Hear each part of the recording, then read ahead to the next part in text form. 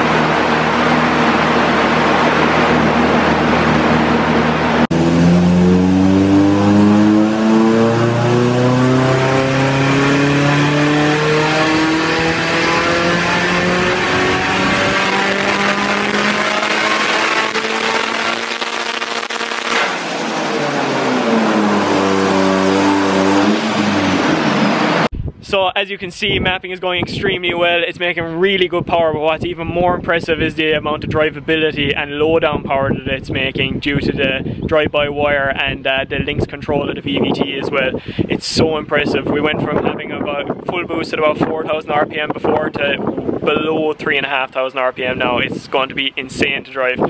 But look who just arrived. Hello. Patrick is here car in tow, another car for the TDP dyno, and uh, we're really looking forward to seeing what uh, Patrick's car as well is going to be going to be like because uh, uh his is like a similar enough spec SR to mine, but just a two liter, so they're slightly different, but it uh, should be very interesting to see what kind of power this thing makes as well, and again how drivable it is because uh, you had quite a big turbo on it before, Pat Patrick, and now it'd be nice to make it nice and responsive and, and easy drivable. to drive main thing is drivable. We yeah. drivable and usable. So time to get it off the trailer, finish up uh, mapping mine. It, uh, Robbie said he has a little bit of secret sauce that he's going to put into it for the last few runs and uh, maybe test out that anti-lag.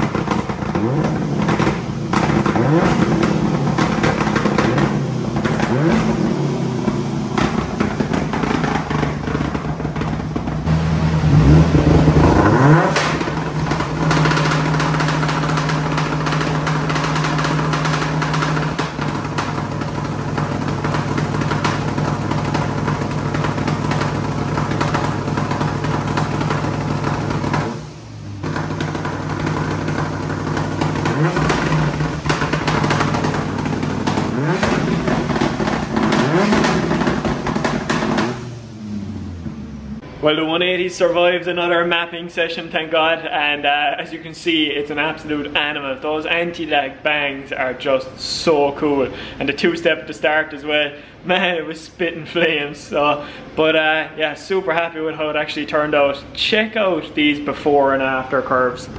They're absolutely insane. So here's the power curve straight off. Your green and red is the uh, current power now, and then the dotted lines are the power that it was before. So you can see how much earlier it's actually coming on, and the bottom line down here then is our, our low boost map.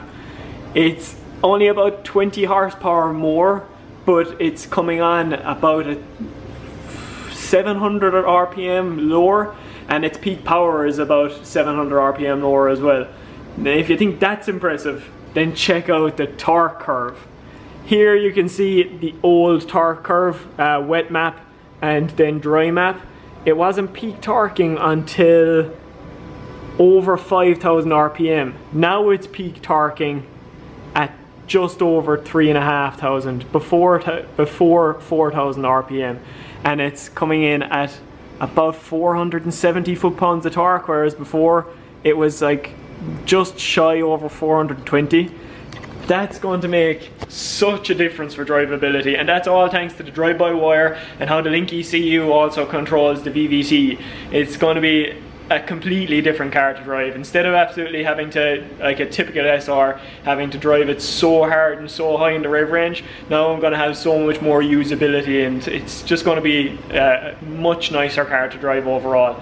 But uh, yeah, I think that's kind of it. I think it's about time to load up and uh, yeah, get this baby home.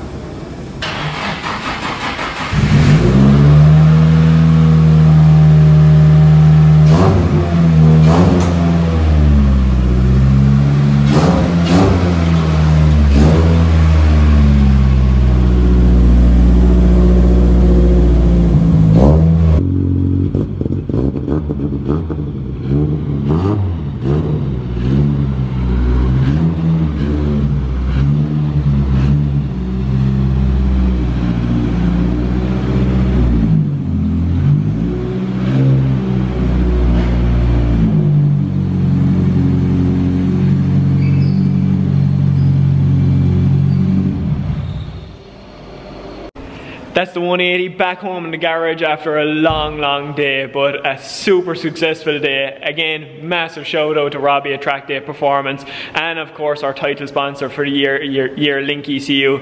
If this doesn't prove that Link ECU products are the best out there, the difference that they made to the 180, it was a good car before, but it's just going to be a phenomenal car this year. Make sure you hit Link ECU up if you want uh, some of that, some of those awesome products, and uh, yeah we are just six days away now from the 180's first outing of the year at the Drift Games practice day. So we will catch you guys there. Thanks for watching. See you next time.